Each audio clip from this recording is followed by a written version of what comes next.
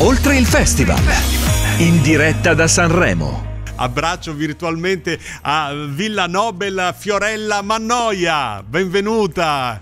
Eccoci. Faccio lo straordinario, ma molto volentieri. Ho messo la giacca per questa occasione perché sono onorato di incontrarti seppur a distanza. grazie, grazie di cuore. Ma chi può buongiorno parlare? Buongiorno a tutti, ecco, eravamo un po'. Eravamo rimasti al buongiorno. Chi può parlare meglio delle donne se non Fiorella Mannoia, eh? Beh, questa è una canzone proprio un inno alle donne, è una, un manifesto femminile, per cui sì, ne, ne vado molto orgogliosa, lo dico anche nella canzone. Anche orgogliosa canto. il nome del brano Mariposa è nato durante la visione di una serie che si chiama Il grido delle farfalle. Non riesco a dirlo bene nel titolo originale, dovrebbe essere Il grido del, de las mariposas. Esatto, è il crito della Mariposas. Las Mariposas, cioè le farfalle, erano le sorelle Mirabal, eh, che sono, erano quattro sorelle, tre delle quali sono state trucidate dall'allora dittatura del generale Trujillo. Sì, eh, sono, sì, furono sì, uccise sì, nella Repubblica Dominicana.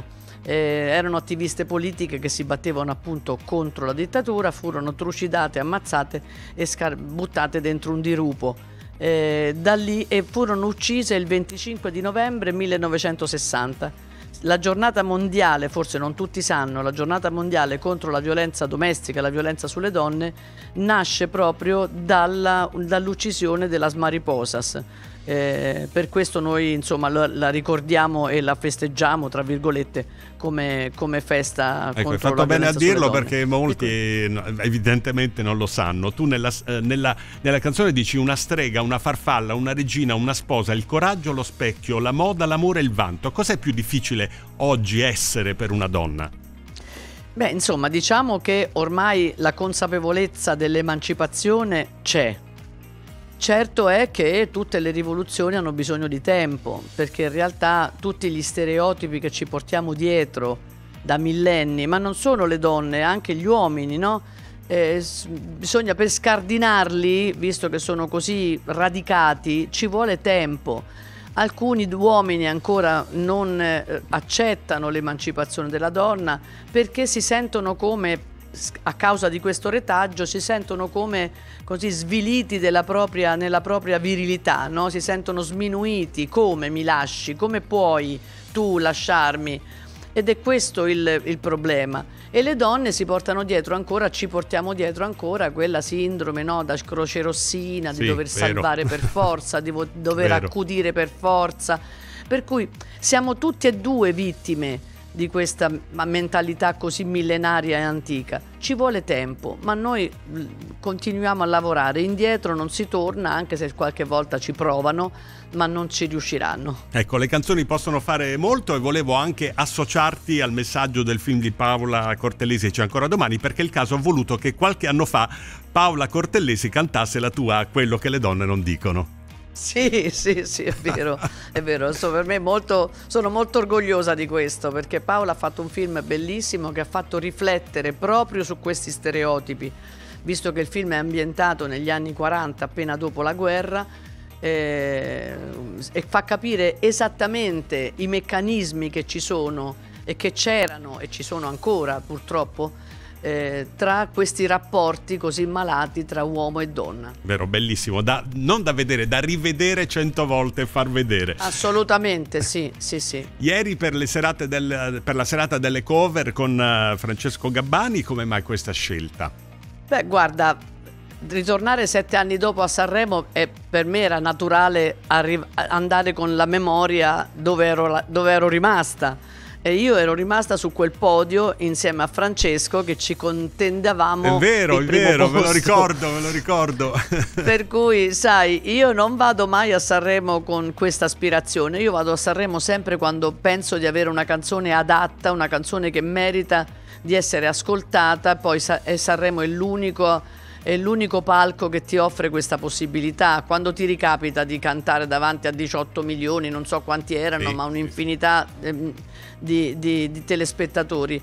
Per cui eh, io vado a Sanremo sempre con questo intento, quando penso di avere una canzone valida. Poi quando sei lì è normale che se succede qualcosa come è successo a me sette anni fa, non ti nascondo che eravamo lì tutte e due, ognuno dei due eh sì. sperava di vincere.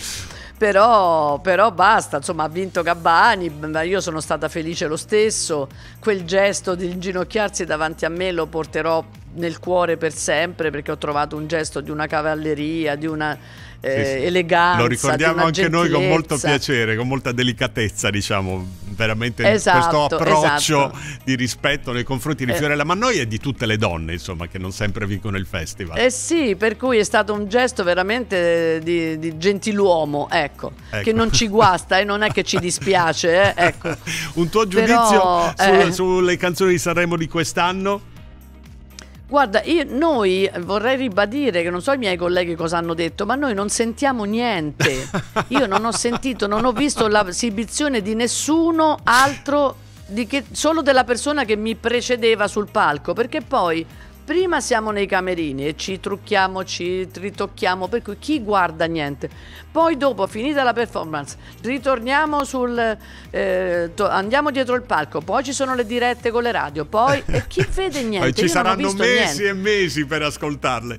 Invece volevo concludere... Io con... so peraltro che ci sono su quel palco tanti miei amici, tanti miei colleghi, tante mie colleghe eh, io eh, così per affetto, non me ne vogliano gli altri, io tifo per Loredana, ho sempre tifato per Loredana, per cui anche quest'anno farò così. Una canzone fortissima quella di Loredana. Volevo concludere con il messaggio di un'ascoltatrice che saluto, Isa di Altamura che ti adora. ha scritto: Grazie. Potete Grazie. dire a Fiorella Mannoia che se non si impegna di più mi fa perdere il Fanta Sanremo. Cos'è sta storia? Cosa Mamma. dovresti fare? Ma cosa, cosa, non dovrei? Cosa mi devi fare la domanda al contrario? Ah, Qui okay. quando si va su quel palco, mentre canti devi pensare, devo scendere le scale, devo dare i fiori, devo dare i fiori al, al, al, al, come si chiama, al direttore orchestra, poi devo dare il 5 al conduttore, no, non al conduttore, al co-conduttore, poi dovrei abbracciare eh, Amadeus, poi bisogna metterci occhiali da sole, poi bisogna stare scalzi, poi no basta, io non ce la faccio più, devo dire la, la fatica, verità, basta, sono esausta esausta.